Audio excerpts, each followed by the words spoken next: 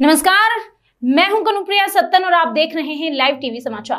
आइए नज़र डालते हैं आज की कुछ खास खबरों अखिल भारतीय मध्यान्ह भोजन रसोईया महासंघ के बैनर तले नगर के कंपोजिट विद्यालय में आयोजित रसोईया महासंघ की बैठक को मुख्य अतिथि नौतन व नगर पालिका की पूर्व अध्यक्ष नायला खान व विशिष्ट अतिथि सभासद शहनवाज खान ने माँ सरस्वती के चित्र पर माल्यार्पण कर पुष्प अर्पित कर प्रारंभ किया।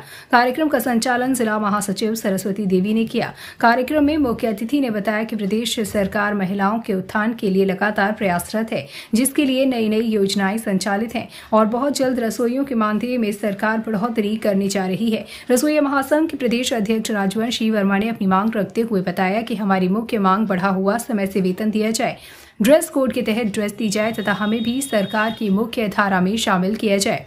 इस अवसर पर सभासद किस्मती देवी, रसोईया संघ की जिलाध्यक्ष बिंदु देवी, ब्लॉक अध्यक्ष शत्रुघ्न गुप्ता, योगेंद्र कनौजिया रवि कुमार पुष्पा देवी, गीता देवी, सरस्वती देवी, तारा यादव, प्रभावती देवी, माया माया देवी, रूपा, सुनीता, बासमती देवी, अशोक गौड़, घुटबुड़ इसरावती केदार, फुरकान आदि लोग मौजूद रहे।